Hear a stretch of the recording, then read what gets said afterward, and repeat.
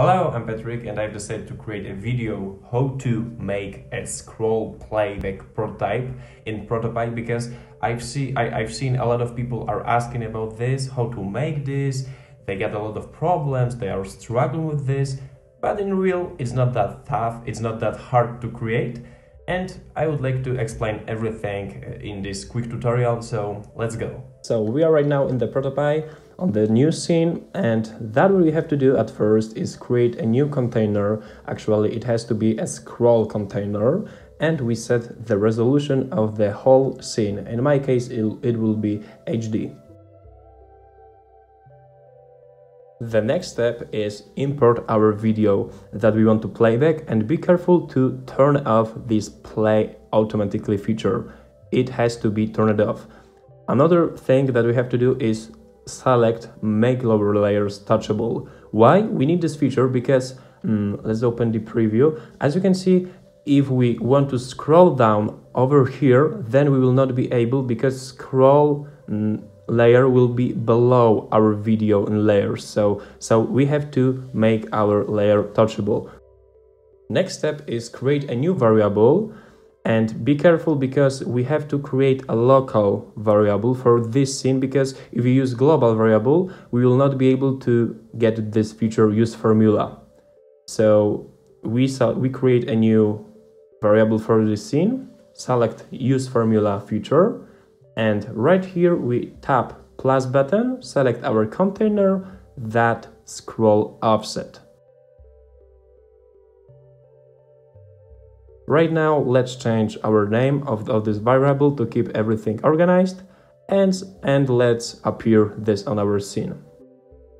Let's open a preview and as you can see our scroll is working correctly but unfortunately it goes back to the zero value. Why? It happens because we don't have any content inside our scroll container. That what we have to do is create a new shape layer that will be this content. But what we will do with this is we will change fill color to the zero to make this disappear and change the resolution. In my case, it will be 420. I will explain you in a few minutes why it's 420. But right now, let's move this shape to our bottom border of the scene. and move our shape to the scroll container in layers panel. Let's open a preview and as you can see the value is working correctly it, it doesn't uh, goes back to the zero uh, like we had this problem before okay and right now we have to create a new variable that we will call hotpoint1 over here we have to provide 20. Why? I will explain. So what's going on with this hotpoint variable and what means 20? The idea of that, how it works, is pretty simple. If we scroll the container by 20, then we will play our video by 0.1 second.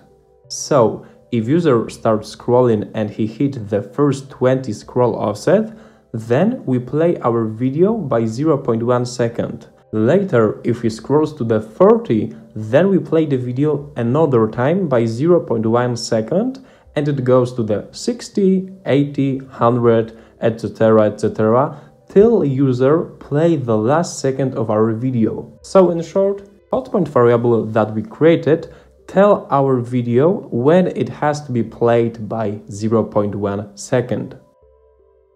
Okay, so let's go back to the prototype. And right now we have to create a new detect trigger.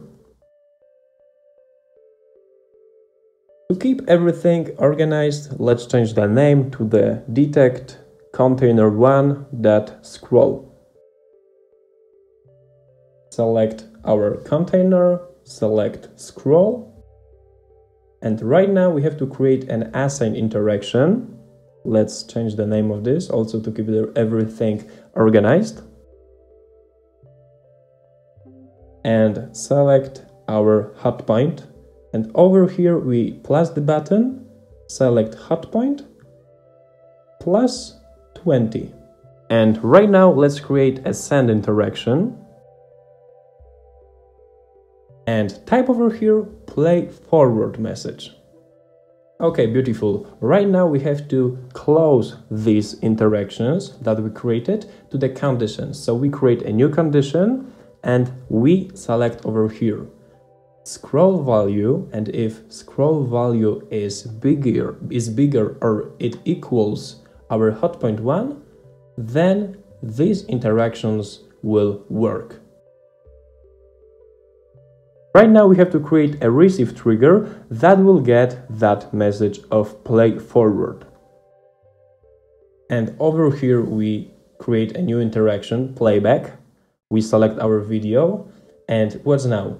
As you can see we got three different action options but we have select not play but seek action. And over here we select seek to formula and the formula that we will have is Let's tap the plus button, select our video, that current time plus 0.1 second. Okay, let's open the preview.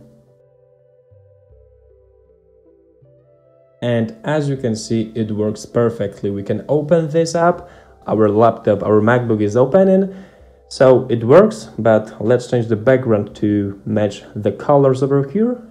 And as you can see, we got this. Beautiful.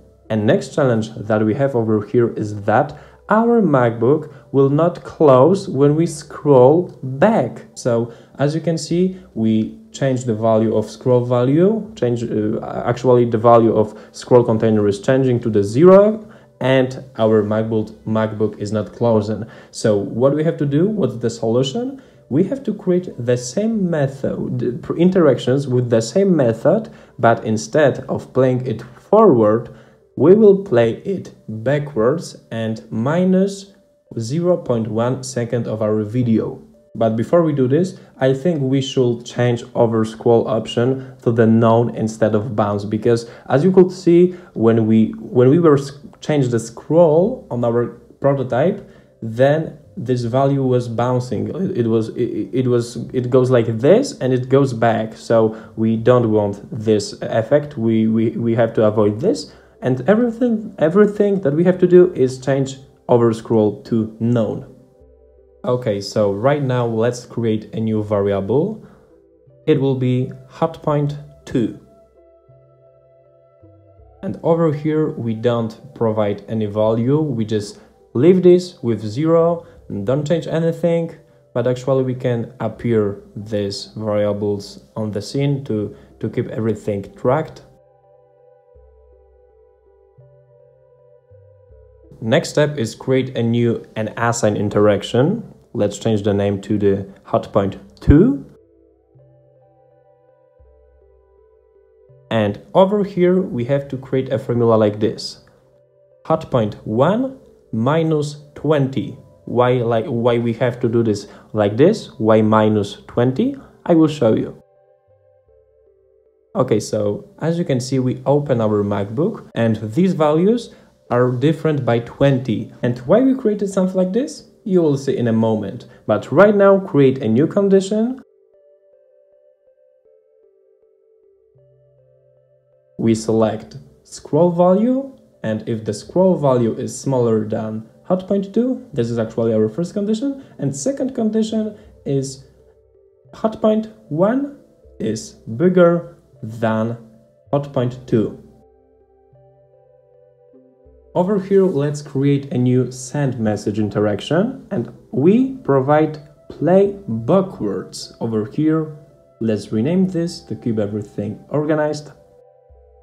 Right now we select our hotpoint 1 and hotpoint 2 interactions from condition above and we change in formula of hotpoint 1 assign, we change in formula plus to minus symbol. Another step is create a receive message and we will receive over here play backwards message.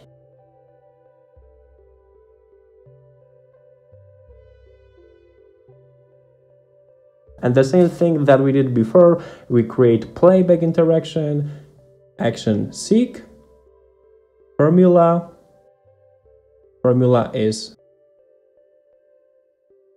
video that current time minus 0.1 second. Okay, we open our MacBook and we close this. Okay, beautiful.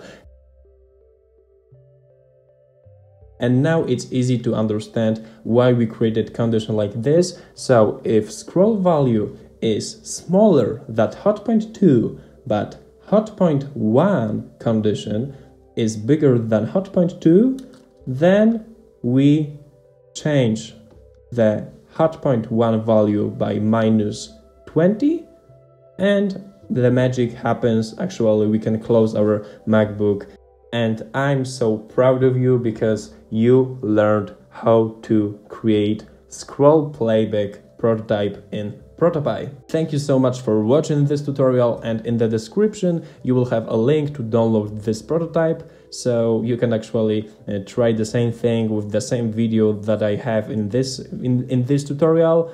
Mm, so it was happy to teach you how to do this and see you in the next tutorial. Bye!